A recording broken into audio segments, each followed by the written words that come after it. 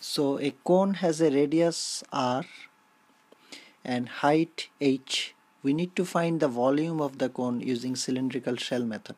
So the cone is formed by its revolution around its axis which is uh, this one basically.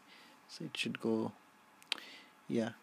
So that's this this is the height is h and this dimension is r and we need to find the volume using cylindrical shell method. So let's say this is x-axis and this is y-axis.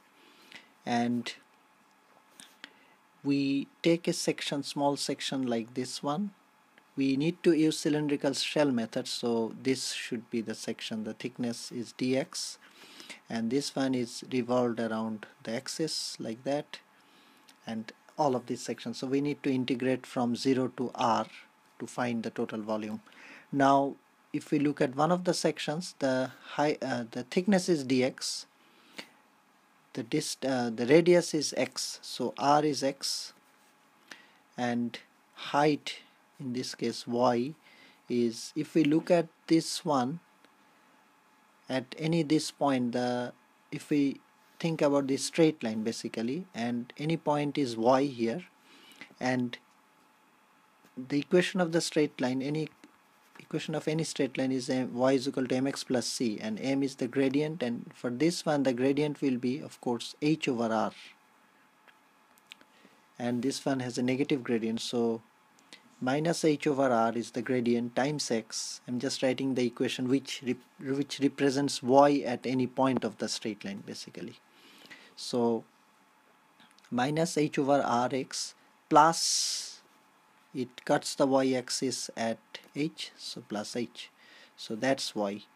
So our equation uh, our expression for the volume of one of the section is 2 pi rh the cylinder times dx. So 2 pi r is x and h is minus h over r x plus h times dx. So this is what we need to integrate from 0 to r so 2 pi is there. And this is minus h over r x square plus hx dx. We can take the h out as well.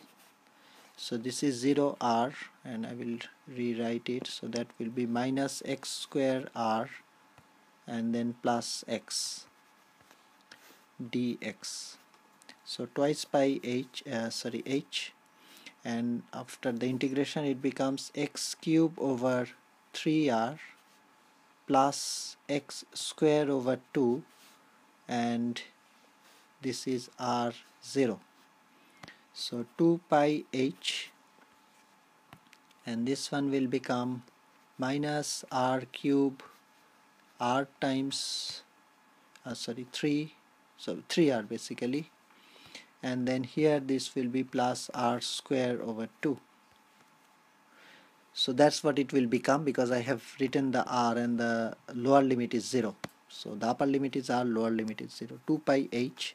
And this is becoming minus r square 3 plus r square over 2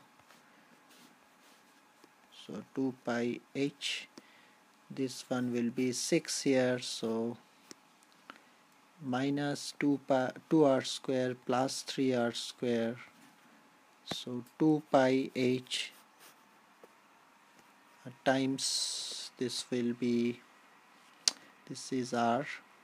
So r square over 6 that's what it becomes. So this is becoming one third pi r square h. This is the volume of the cone that's generated. And we have used cylindrical shell method to find the volume